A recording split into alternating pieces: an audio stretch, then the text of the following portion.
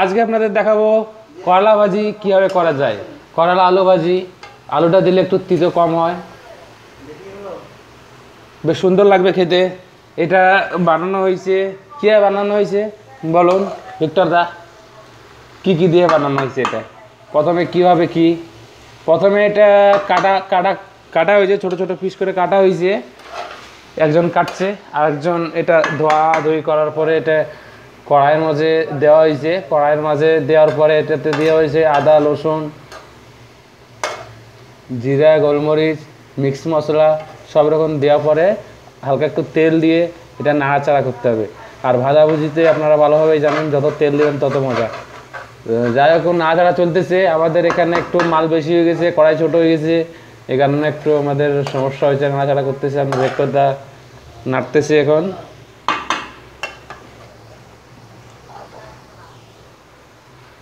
দেখা যাক এখন কি হয়। হলুদ দেওয়া হয়েছে। হ্যাঁ, হলুদ দিয়েছি, হ্যাঁ হলুদ দিয়েছে। হলুদ দিয়েছে জিরে দিয়েছে লাউড়া দিয়েছে রসুন দিয়েছে। আচ্ছা ঠিক আছে সব তেল- দিয়েছি। ঠিক আছে। তেল একটু বাড়িয়ে দেন আবার তেল ডালা হচ্ছে একটু তেল একটু মালটা বেশি হয়ে গেছে। মাল বেশি হয়ে গেছে মাল ঢালি দেবো। সমস্যা নাই। সিঙ্গাড়া আছে। যাই হোক আপনারা দেখুন এভাবে বানাতে থাকুন। খেতে থাকুন।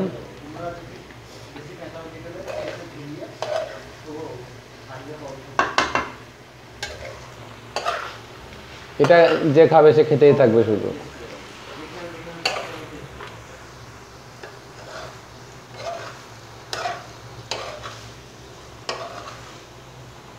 এইভাবে আপনারা নাড়তে চাটতে থাকবেন।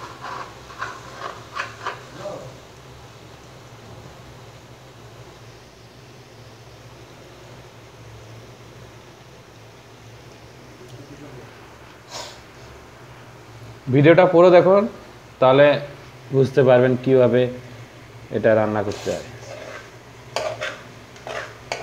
আরেকটা কথা, ভিডিওতে লাইক দিতে বলবেন না, আর আপনার চ্যানেলটি সাবস্ক্রাইব করে দিন।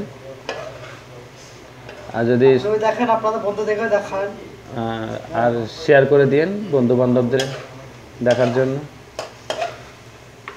আর খারাপ ভিডিও যদি খারাপ লাগে তো কমেন্ট বক্সে কিছু লিখে দিন হ্যাঁ। তেরি জাত কা বাইদা মারু